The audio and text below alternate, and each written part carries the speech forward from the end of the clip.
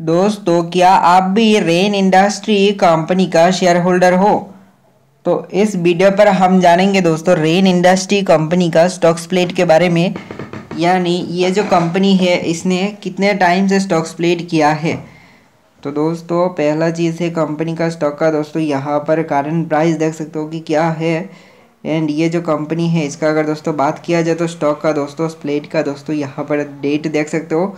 2011 साल का 15 जून को स्टॉक स्प्लिट हुआ था एक बार।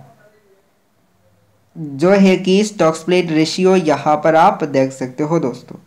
तो ज़रूर कमेंट करके बताना कि क्या आप भी इसी कंपनी का शेयर होल्डर हो, ना कि किसी दूसरे कंपनी का कमेंट करके बताना ज़रूर दोस्तों। कमेंट करने में तो कोई दिक्कत है नहीं।